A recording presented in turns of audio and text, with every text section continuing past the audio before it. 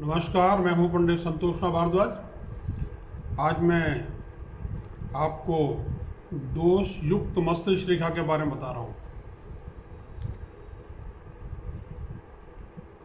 एक ऐसी मस्तिष्क रेखा जो अचानक मुड़ जाए और, ढलान लिए हुए हो, मोड़ लिए हुए हो वो दोषुक्त कहलाती है। आज मैं आपको जो बता रहा हूँ, वो एक ऐसी मस्तिष्क रेखा है जो जंजीर नुमा होती है दीपों से मिलकर बनी होती है।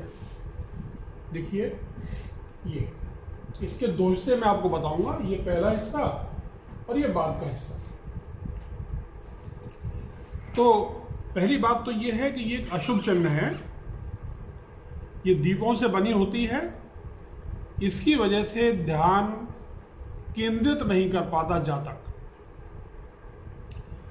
गुस्सा आता है, उसके व्यवहार में कठोरता होती है, चिड़चिड़ा होता है।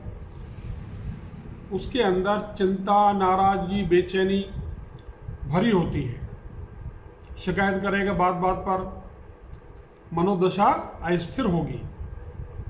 अपने मन मस्तिष्क पे काबू नहीं रख पाएगा। वैसे काम ज़िम्मेदारी से करेगा, मगर फिर भी उसको अपने स्वभाव की वजह से मान्यता नहीं मिल पाएगी। वह बुद्धिमान हो सकता है और साफ़ बोलने वाला भी हो सकता है। ऐसे लोग ठोकर खाने के बाद भी अपने आप को संभाल नहीं पाते। जिद्दी होते हैं, हटीले होते हैं। अब मस्तिष्क रेखा जंजीर नुमा हो, जीवन रेखा टूटी हुई हो।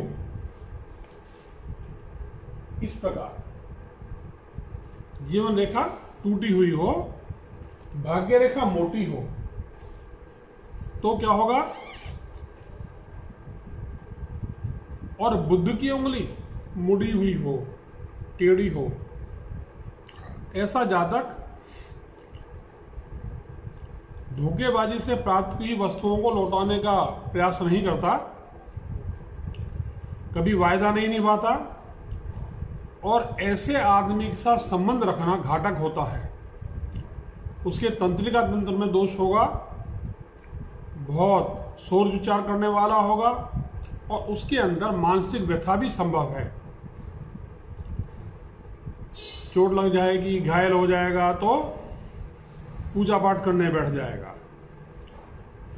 ये निश्चित वो वायदा नहीं निभाएगा। तो कृपया ऐसे लोगों से दूरी बना के रखें। अब मस्तिष्क रेखा जंजीर नुमा है। इसका पहले भाग की बात करेंगे, ये वाला भाग हम इसकी बात करेंगे। जातक को ध्यान लगाने में परेशानी होगी। उसके विचारों में तारतम्य की कमी होगी। कभी तो बहुत ज़्यादा तर्क तंगत बात करेगा, कभी बिल्कुल उल्टी बात करेगा। तर्क विहीन कठोरता होगी व्यवहार में, चिड़चिड़ा होगा, जल्दी नाराज़ होने वाला होगा। दिमाग और अपने कारगुजारी कामों के ऊपर काबू नहीं रख पाएगा। बुद्धिमान, मेहनती होने के बावजूद उसको मान्यता नहीं मिलेगी। वह अपनी बड़ाई खुद करेगा। साफ़ बोलने वाला होगा, हटीले स्वभाव का होगा। अब मैं लेता हूँ चौथा केस। मस्तिष्क रेखा का दूसरा भाग, ये जंजीर नुमा है, ये वाला हिस्सा जंजीर नुमा है। जातक को सरदर्द रहेगा, पेट की खराबी रहेगी, कमाई से ज़्यादा खर्च करेगा, बचत का अभाव होगा। और इसी काल में जीवन रेखा में भी खराबी हुई। यानी यहाँ पर कट्स लगे हुए ब्रेक हुए दीप हुआ धब्बा हुआ, लाल काला धब्बा हुआ। तो ऐसे व्यक्ति को इसी समय पर गंभीर बीमारी हो सकती है, तनाव हो सकता है और चिंताएँ हो सकती हैं। पांचवा केस है, जंजीर नुमा मस्तिष्क रेखा। और रेखाएँ जो है वो लाली लिए हुए हैं, लाल रंग लिए हुए हैं, खराब हैं। तो ये खराबी जो है, मैं इसके बारे में जो बात कर रहा हूँ, वो बुद्ध और सूर्य के बीच में जो ये स्थान है, यहाँ पर अगर खराबी है, यानी इस उम्र में अन्य रेखाओं में खराबी दिखाई देती है तो जातक को सिरदर्द होगा, आँखों में खराबी होगी, आनुवांशिक बीमारियाँ होंगी। अगर ये लक्षण किसी स्त्री के हाथ में है तो उसके अनेक बच्चे होंगे और उसको कई बार गर्भपात भी होगा। छठा केस ले रहा हूँ।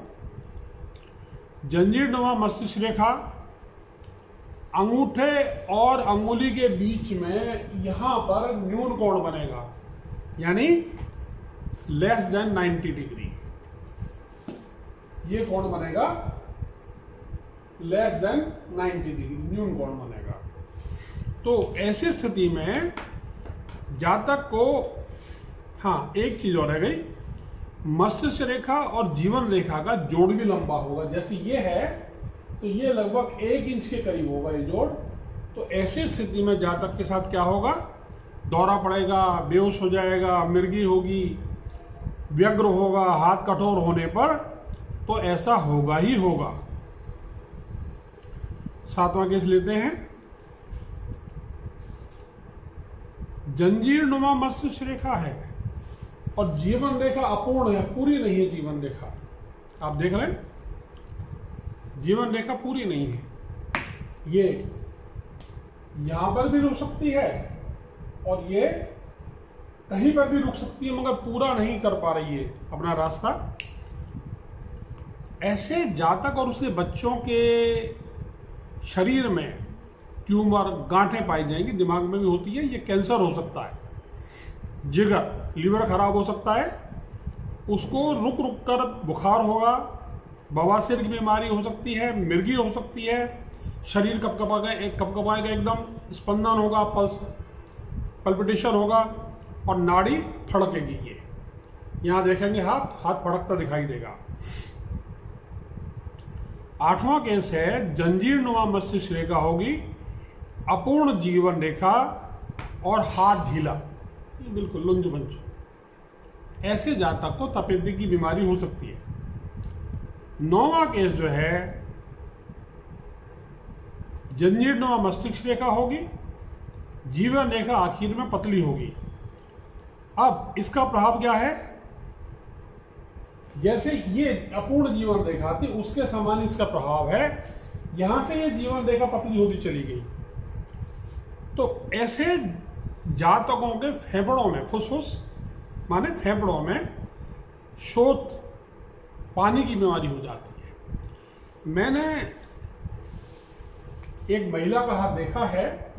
उसके हाथ में ये जीवन रेखा शुरू में तो अच्छी गहराई लिए हुए है और उसके बाद she is bedridden now बिस्तर पे है, ये रेखा बिल्कुल पतली होती चली गई। जैसे कि नहर में पानी सूखता चला जाता है, नदी में पानी सूखता चला जाता है। तो मैंने आपको बताई अशुभ चिन्ह है। नमस्कार, बहुत जल्दी फिर मिलेंगे अगले अध्याय के साथ।